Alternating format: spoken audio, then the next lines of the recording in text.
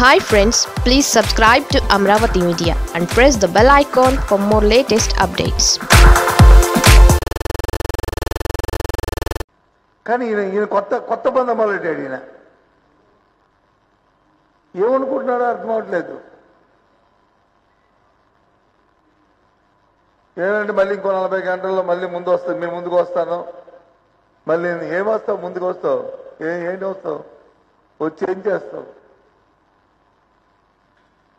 ఇప్పుడు ఏం చేసావు ఎవరంటే మంత్రులు వచ్చి ఆ రోజు ఈ ఈ రకంగా అధికారులు ఉన్నప్పుడు మాట్లాడారు. ముఖ్యమంత్రి గారు శాసనసభలో ప్రతిపక్ష నాయకుడికి ఈ రకంగా మాట్లాడారు అని వెనక ముందు అవి కట్ చేసి ఆయనకి ఏదైతే ఒక వాక్యం ఆ వాక్యాన్ని వచ్చి పెడతాడు ఆయన అందంగా. ఇలాంటి లాజిక్లు ఇలాంటి మ్యాజిక్లకి ఈయన పేటెంట్. అందరికి తెలుసు రాష్ట్ర భారతదేశం అందరికీ తెలుసు. నేను చెప్పక్కర్లే. మొన్నే ఆయన ఎవరు? ఫరూక్ అబ్దుల్లా ఉమర్ అబ్దుల్లా చెప్పాడు. ఏమని? చంద్రబాబు యూఎన్ త్రో లీడర్ అని చెప్పాడు ఉపయోగించుకుంటాడు పంపించేస్తాడు అని అన్నాడు. రాష్ట్ర రాజకీయాల్లో కాదు దేశ రాజకీయాల్లో కూడా ఈయన అటువంటి నాలుడి పేటెంట్ ఈయన పేటెంట్. ఆయన వచ్చి వచ్చి అంటాడు ఇవాళ పెద్ద పేపర్లో వచ్చి ఇవాళ వెనక్కి తోకముడిచారు ఏంటి తోకముడ్డం? ఇచ్చిన మాట నిలబెట్టుకుంటూ ఏదైతే మాట ఇచ్చా మాట ఇస్తే పని చేయాలనే రీతిలో ఆ నేపథ్యంతో ఆ పట్టుదలతో ఉన్నది వైఎస్ఆర్సీ పార్టీ. స్వర్గీయ రాజశేఖర రెడ్డి గారి స్ఫూర్తితో పుట్టింది ఈ పార్టీ. ఆయన ఎలా అయితే ఆ రోజు ఎన్నికల్లో చెప్పిన మాటలు నెరవేర్చడానికి ఏ కార్యక్రమాలు చేశాడో ఈ ప్రజా ఉదయాల్లో ఏ రకంగా చిరస్థాయిగా ఆయన స్థానాన్ని సంపాదించాడు ఆ రకంగా ఆయన తనయుడు జగన్మోహన్ రెడ్డి గారు కూడా అదే కార్యక్రమాన్ని చేసి అది పేటెంట్ అయ్యారు ఈ బలాలు ఏదైనా మాట చెప్తే మాట మీద నిలబడతారా అని. నీ జీవితంలో చంద్రబాబు నాయుడు గారిని ఒక ప్రశ్నిస్తున్నాం. రాష్ట్ర ప్రజలందరూ కూడా ఆలోచన చేయండి. ఒకసారి మళ్ళీ మీకు తెలుసు ఆయన బుద్ధి. ఒక్కసారి ఒక్కసారి ఏ మాట మీద ఆయన నిలబడ్డా ఏ మాట నేను చెప్పిన మాట ఆయన నెరవేర్చాడా? చెప్పండి. వైసీపీ పార్టీ కంటే కరెంటు వస్తే ఓటు వేస్తే కరెంట్ షాక్ పడుతుందని ఆ రోజు చెప్పాను ఆ రోజు ఆ రోజు ఇంకో మాట కూడా చెప్పారు. ఆ రోజు ఇంకో మాట కూడా చెప్పావు. ఏం చెప్పావు? అంతకుముందు ఎన్నికప్పుడు ఉచిత విద్యుత్ ఇస్తే తిగిలి మీద బట్టలు ఆరబెట్టుకోవాలన్నావు అదే కరెంట్ మాట చెప్పావు. ఏమైంది? దేశమంతా ఇవాళ ఆ ఉచిత విద్యుత్ చెప్తుంది. ఇది వాస్తవం కాదా?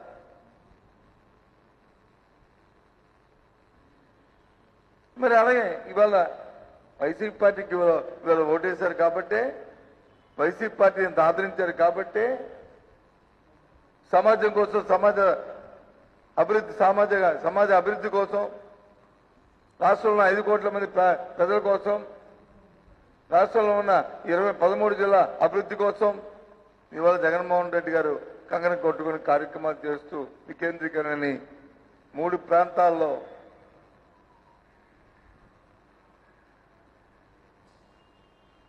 ఇవాళ రాజధానిని కేంద్రాలుగా గుర్తించి వాటిని రాజధానిగా ప్రకటించడం జరిగింది. నువ్వేం చేసావు? ఏమనంటే కేంద్రం జోక్యం చేసుకో కేంద్రం జోక్యం చేసుకోవాలి అని అంటున్నావు.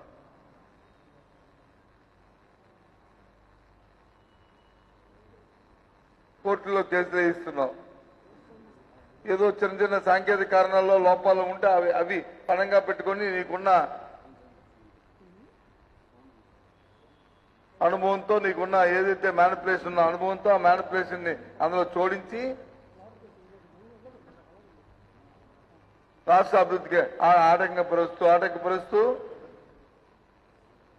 ఒక ఎన్ఆర్ఎస్ గారిగా ఇవాళ రాష్ట్రానికి దాపరించావు.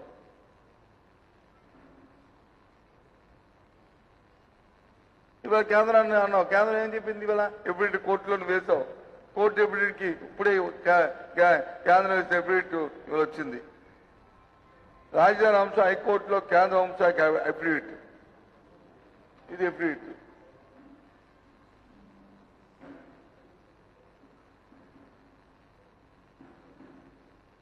రిట్ పిటిషన్లో కేంద్రం ప్రతిగా కేంద్రం అఫిడవిట్ చేసింది ఏమని? రెండు వేల పద్నాలుగు విభజన చట్టంలో సెక్షన్ ఆరు ప్రకారం కేంద్ర కమిటీ వేసింది. రెండు వేల పద్నాలుగులో శివరామకృష్ణ ఆధ్వర్యంలో కమిటీ కేంద్ర కమిటీ కేంద్రం ఏర్పాటు. రాజధాని ఎక్కడ పెట్టాలనేపై కమిటీ పరిశీలన జరిపింది. ఆగస్టు ముప్పై రెండు వేల పద్నాలుగు నివేదిక సమర్పించిన శివరామకృష్ణ కమిటీ రెండు వేల పదిహేనులో అమరావతి నాటి రాష్ట్ర ప్రభుత్వాన్ని రాజధానిగా ప్రకటించింది. ఆగస్టు ముప్పై రెండు వేల పద్నాలుగు నివేదిక సమర్పించిన కమిటీ సమర్పిస్తే రెండు వేల పదిహేనులో అమరావతి నాటి ప్రభుత్వం రాజధాని ప్రకటించింది.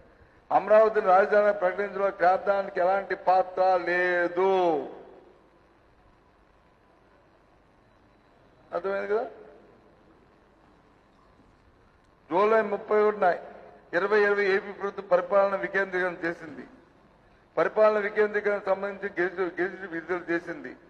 గెజిట్ ప్రకారం ఏపీలో మూడు పాలనా కేంద్రాలు ఉంటాయి. మూడు పాలనా కేంద్రాలు రాజధానిగా గెజిట్ పేర్కొంది.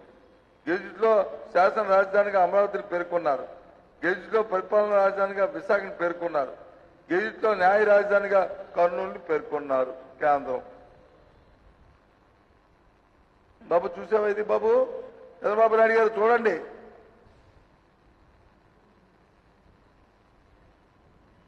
ఎందుకంటే ఏదైనా సరే ఏదైనా ప్రజాస్వామ్యంలో రాజ్యాంగాన్ని రాజ్యాంగానికి లోబడి చట్టాలకు లోబడి ప్రజల తాలూకు ఆలోచనలు లోబడి ప్రజా శ్రేయస్సుకు లోబడి ఆ ప్రాంతాల అభివృద్ధి ఆలోచనలు తీసు పరిగణలో తీసుకొని కార్యక్రమాలు చేయాలి. నువ్వు చేసిందేటి? నీ వ్యక్తిగత స్వార్థం కోసం నీ దోపిడీ కోసం నీ సామా నీ నీ సామాజిక అభివృద్ధి కోసం నీ వ్యక్తిగతంగా కోటాది కోట్లు వచ్చి సంపాదన నీ- నీ- సంపాదన కోసం రాష్ట్రాన్ని తాకడి పెట్టింది వాస్తవం కాదా? ఎవరంటే బొత్సాచన గారు చెప్పారు ఆ రోజు? అమరావతి రాజధానిగా ఉంటారని చెప్పి చెప్పి? అమరావతి రాజధాని ఇవ్వలా? కాదని ఎవరు చెప్పారు ఇవ్వరా శాసన శాసన రాజధానికి చెప్పాను కదా. కాదని ఎవరు చెప్పారు? విశాఖపట్నం ఎగ్జిక్యూటివ్ క్యాపిటల్ అని చెప్పాము మూడో రాజధాని. లెజిస్లేటివ్ క్యాపిటల్ అమరావతి అని చెప్పాము. కాదని ఎవరు ఎవరన్నారు జ్యుడిషియల్ క్యాపిటల్ కర్నూలు అని చెప్పాము. కాదా? ఏంటి నీ తాలూకుది? ఇవాళ పత్రికలో చూశాను. నా నా నా ఎమ్మెల్యే అవును, నాకు తెలుసు నువ్వు ఎమ్మెల్యేలే కాదు నీ ఎమ్మెల్యేని నీ ఎంపీని నువ్వు అందరూ వదిలేస్తావు. ఎందుకంటే నీకు కావాల్సింది నీ స్వార్థం నీ నీ ఆస్తులు నీ నీ నీ నీ తాలూకా సమయం వరకు ఆ దానికి ఎలా సంపాదించుకోవాలి ఏ రకంగా చేయాలి దానికోసం ఎవరినైనా తాకట్టు పెట్టేస్తావు ఎవరినైనా పనకం పెట్టేస్తావు ఎవరినైనా వెళ్ళిపోవచ్చు ఎవరినైనా చంపేస్తావు. వీళ్ళ వీళ్ళ కొత్త కాదు ఇది. నీ రాజకీయ జీవితం నలభై సంవత్సరాల చరిత్ర తీస్తే అందులో అందులో పుట్ల పుట్లగా ఉంటాయి. ఎవరైనా నీ స్వీ నీ చరిత్ర రాస్తే ఇవన్నీ వస్తాయి. ఒక్క పేజీలో నీ గురించి మంచిగా రాయడానికి ఎక్కడ లేదే. ఐదు సంవత్సరాలు వచ్చి నీకు అద్భుతమైన అవకాశం ఇచ్చారు. ఈ పదమూడు జిల్లాలో నేను ఈ కార్యక్రమం చేశాను ఐదు సంవత్సరాల్లో ఒక మంచి కార్యక్రమం చేశానని చెప్పు.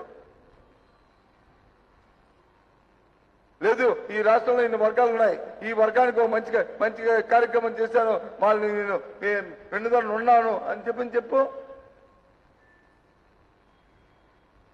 మహిళలకు కానీ రైతులకు కానీ లేదా యువకులకు కానీ సామాజిక పరంగా చూసినా సరే ఇంకో ఈ కులానికి కానీ లేదు ఈ మతానికి కానీ నేను చేశానని చెప్పు నువ్వు. నేను నేను పేటెంట్ అని చెప్పండి. ఎందుకు చెప్పలేకపోతున్నావు? గత నలభై గత ఎంతకు ముందు చేసిన పద్నాలుగు సంవత్సరాలు ముఖ్యమంత్రి పక్కన పెట్టు. గత ఐదు సంవత్సరాల్లో నువ్వు చేసిన కార్యక్రమం చెప్పు.